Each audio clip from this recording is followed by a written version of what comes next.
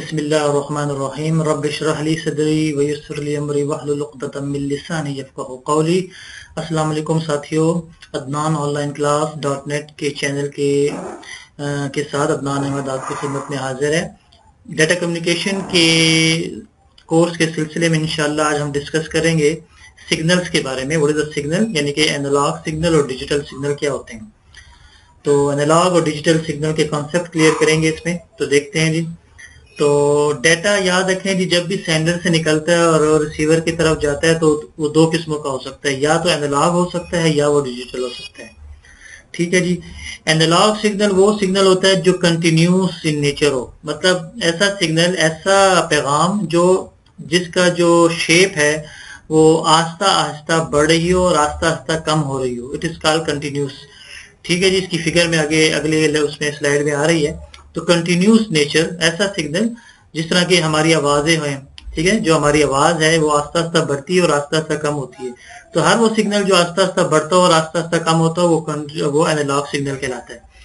जबकि digital signal वो signal होते हैं जो डिस्क्रीट स्टेट्स होते हैं डिस्क्रीट का मतलब जिसमें एक एकदम अचानक चेंज आ जाए अचानक वो बढ़ जाए और अचानक वो कम हो जाए तो it is called digital signal ठीक है जी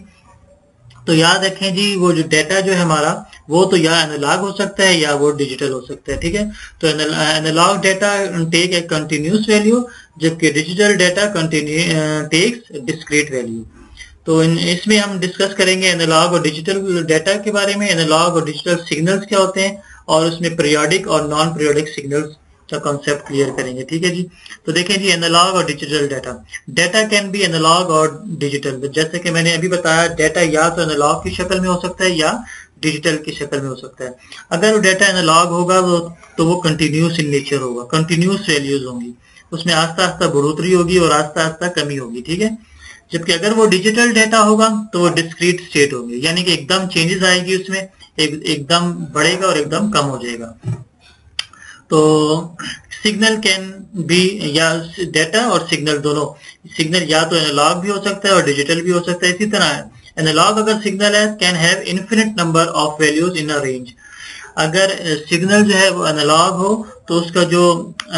रेंज है वो इन्फिनिट हो सकती है मतलब तो ही हो सकती है मतलब कहीं तक भी जा सकती है इसी तरह अगर डिजिटल सिग्नल है can have only a limited number of values तो डिजिटल सिग्नल की जो वैल्यूज वैल्यूज होंगी वो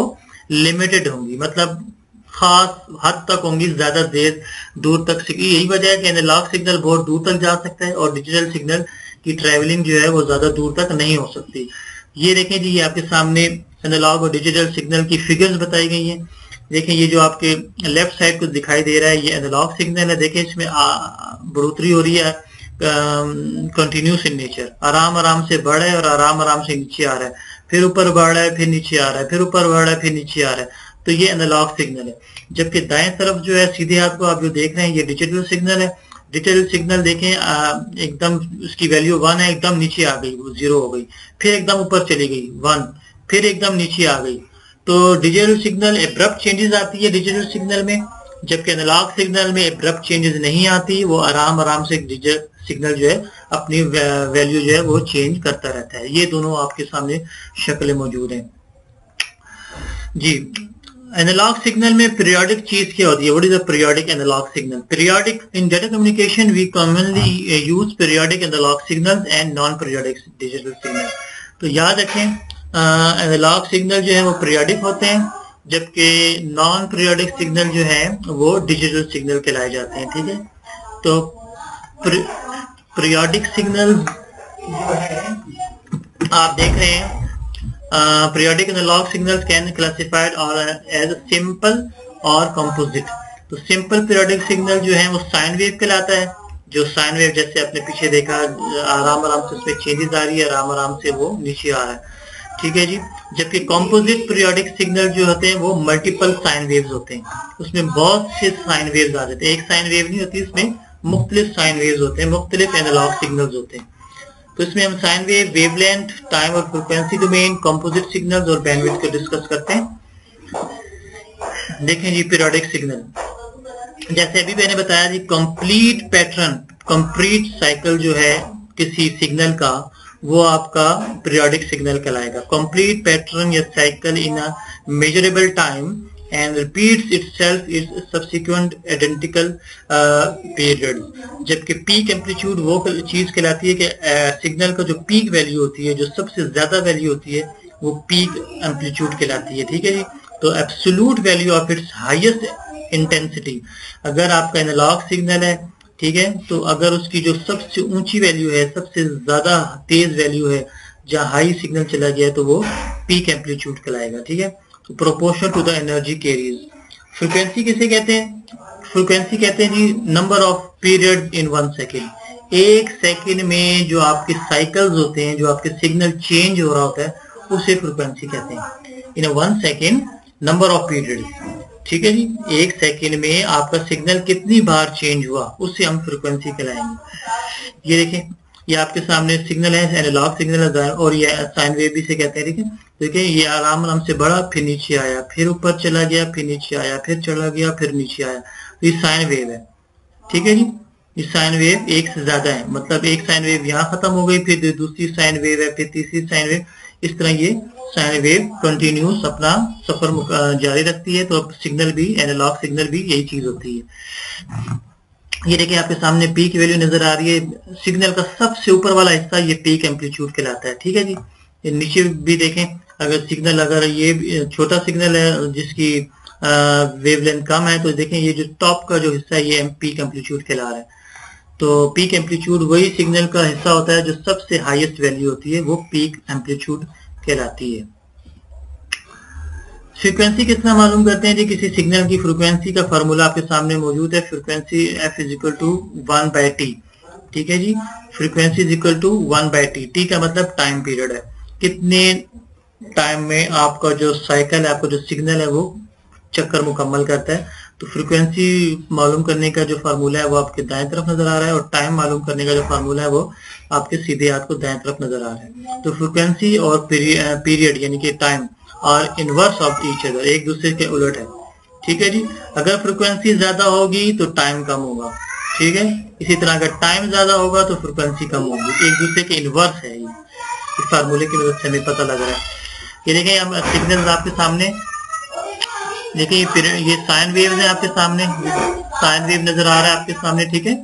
ये वन साइकिल दूसरी साइकिल तीसरी साइकिल ये देखिए जितनी साइकिल्स आपके जा रहे हैं ये पीरियड्स हैं ठीक है जी तो ये आपकी फ्रिक्वेंसी है तो तकरीबन आपके 12 हर्ट्ज हैं मतलब इसमें 12 चक्कर होंगे एक दो तीन चार पाँच छह सात आठ नौ दस ग्यारह बारह तो मतलब एक सेकंड में अगर फ्रिक्वेंसी अपना सिग्नल मुकम्मल करता है तो 12 हर्ट्ज कहलाएगा ठीक है जी 12 हर्ट्ज अगर ये देखें नीचे वाला सिग्नल है signal with a frequency of six hertz नीचे वाला जो सिग्नल है वो सिक्स हर्ट्ज कहलाता है हर्ट्ज का मतलब चक्कर ठीक है जी हर्ष का मतलब जहां भी आपके सामने नजर आएगा वो चक्कर के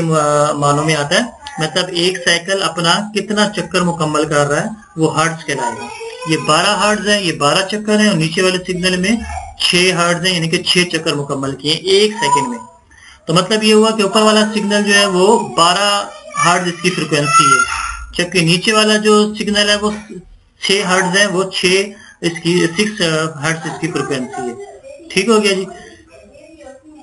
अच्छा ये देखें आपके सामने चार्ट नजर आ रहा है ठीक है जी अगर ये एक हर्ज है तो वन हर्ज का साइकिल होगी इसी तरह किलो हर्ज में है अगर आपका सिग्नल तो one ten raise to to power minus three पर सेकेंड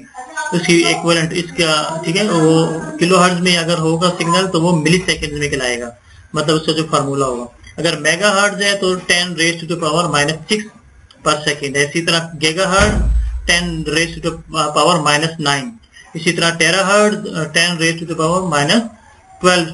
सेकेंड ठीक हो गया तो ये आपके सामने एक चार्ट दिखाया गया है जिसकी मदद से आप सिग्नल्स को नापते हैं ठीक है हर्ट्ज है किलो हर्ट्ज है मेगा हर्ट्ज है गिगा हर्ट्ज है टेरा हर्ट्ज है ठीक है जो टेरा हर्ट्ज है वो पीको सेकेंड की सूरत में नापा जाता है जबकि गेगा हर्ड जो है वो नैनो सेकेंड मेगा हर्ड जो है वो माइक्रो सेकेंड जबकि किलो हर्ड जो है वो मिली सेकेंड के उसमें नापा जाता है यूनिट में ठीक हो गया जी तो ये आपके सामने हमने आज कोशिश की है डिस्कशन करने की एनालॉग सिग्नल को और डिजिटल सिग्नल को उम्मीद है कि आपको कुछ ना कुछ कॉन्सेप्ट क्लियर हुए होंगे फिर भी कोई मसला हो तो आप मुझसे ज़रूर पूछ सकते हैं कमेंट्स कर सकते हैं ठीक है आप मुझे मैसेज कर सकते हैं तो इनशाला अगले लेक्चर में दोबारा हाजिर होते हैं तो उस वक्त तक के लिए अल्लाह हाफिज़ अलैक्म